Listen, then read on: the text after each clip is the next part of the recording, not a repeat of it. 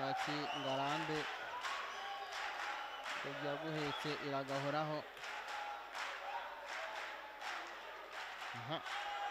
Uwo ngarambe rero wambaye umukandara utukura. Azamuye tayari akaba arimo ahabwa amashyi cyane.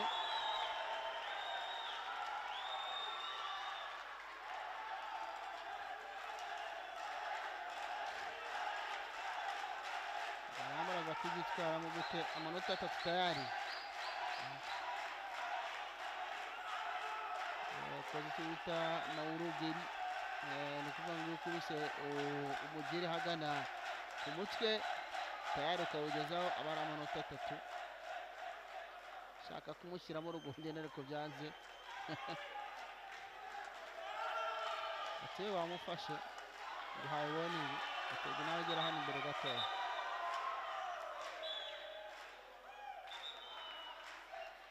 Mhm.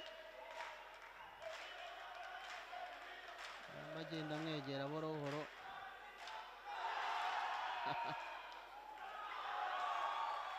aha niwo bita ngarambe vanili mukomeze umusore wambaye umukandara w'umutuku amushyizemo n'akandi kantu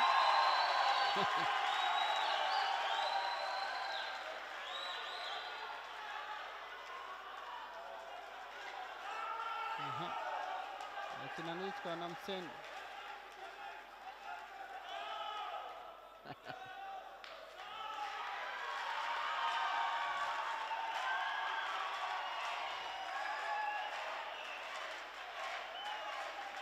komeza ngaha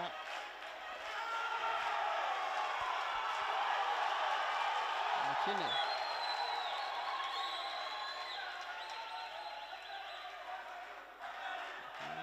c'è sempre il fuso.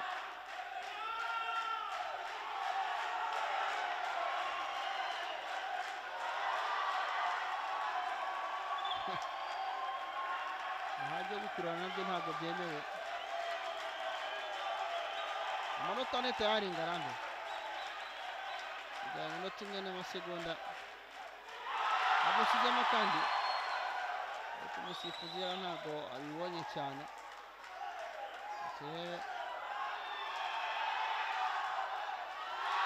aramushyizemo irindi ya bintu rero ni byo bagiye bazira ibintu byo gukomanga ku gatuza cyane akaba agize amanota arindwi tayari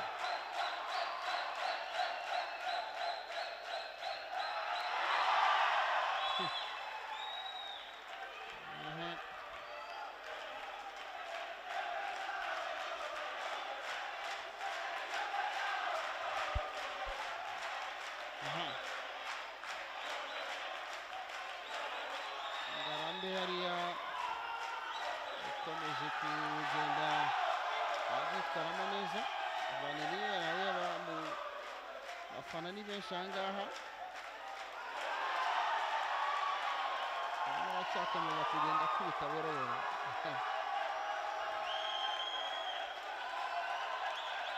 ngarambe amanota umunani tayari. Amaze kuyagira ibyo bimwe bita technical knockout. Iyo yagutsinze umunani ku busa diferanse amanota umunani deja uba utsinze umusore yakinye neza cyane ngarambe hano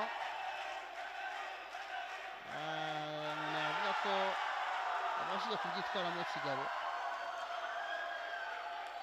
umunyarwanda mu by'ukuri navuga ko umaze kwimpressiona cyane aha ngaha aje kwimpressiona aha ngaha wagiye yitwaramo neza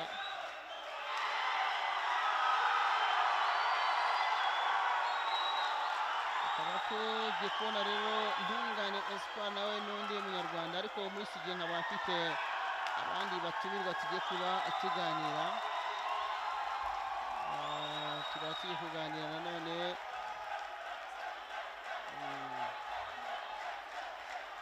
Hmm. Dans le studio, je suis avec euh, le chef euh, ou le, coach principal du Sénégal, euh, Dao. Euh, D'abord, je je, dis bien me- merci de nous avoir accordé, ou bien d'accepter de venir dans notre studio.